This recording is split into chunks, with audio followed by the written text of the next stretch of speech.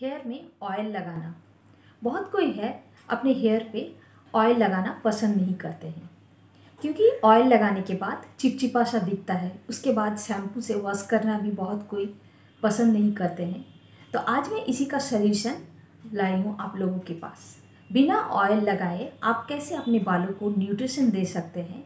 इसी के लिए मैं आज आप लोगों के साथ शेयर करूँगी एक हेयर टोनर जिसके आपके रेगुलर यूज़ से आपके हेयर रीग्रोथ होने में हेल्प करेगा। साथ ही साथ हेयर फॉल भी कंट्रोल होगा और आपके हेयर को न्यूट्रिशन भी मिलेगा।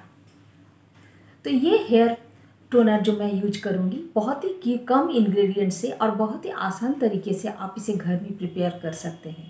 बिना कोई झंझट के। और इसे स्टोर करना भी बहुत ही आसान है। तो चलिए इसे बनाना शुरू करते हैं। और अगर आप फ़र्स्ट टाइम है मेरी चैनल पे तो मेरी चैनल को सब्सक्राइब कर लीजिए और साथ में दिए गए बेल आइकन को भी प्रेस कर लीजिए।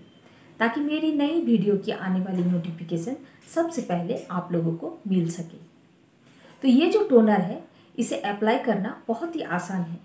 आप शैम्पू करने से एक दिन पहले इसे अपने पूरे हेयर में स्कैल्प में अप्लाई करें और नेक्स्ट डे मॉर्निंग इसे आप शैम्पू कर लें।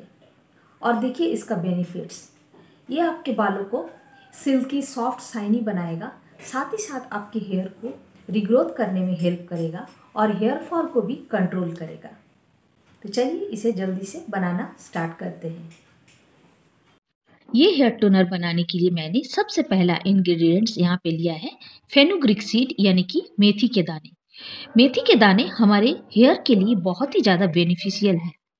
ये हमारे हेयर फॉलिकल्स को एक्टिव करता है, साथ ही साथ ये हमारे हेयर को न्यूट्रिशन प्रोवाइड करता है।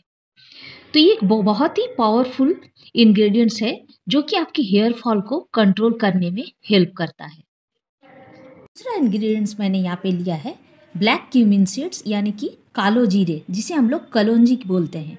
ये हमारे हेयर को मज़बूत करता है नरिशमेंट प्रोवाइड करता है और हेयर फॉल को कंट्रोल करने में हेल्प करता है। तो चलिए ये हेयर टोनर बनाना स्टार्ट करते हैं। मैंने यहाँ पे एक पतीले में करीबन दो कप पानी को बॉयल होने के लिए गैस पे रख दिया है। ये जब बॉयल होने लगे, तब इसमें हम लोग मेथी के दाने, यहाँ पे मैंने करीबन एक चम्मच मेथी के दाने लिए हैं और एक चम्मच कलौंजी लिया है। इसे डाल के अब हम लोग इसे कम से कम 10 मिनट मीडियम फ्लेम में बॉयल होने के लिए छोड़ देंगे। तो इसे मैंने 10 मिनट मीडियम फ्लेम में बॉयल कर लिया है और इसके बाद गैस के फ्लेम को ऑफ़ कर दिया है। ये जब ठंडा हो जाए, फिर इसे हम लोग किसी स्ट्रेनर की हेल्प से इसे छान लेंगे। अब ठंडा होने के बाद एक स्ट्रेनर की हेल्प से हम लोग इसको इस तरह से स्ट्रेन कर लेंगे।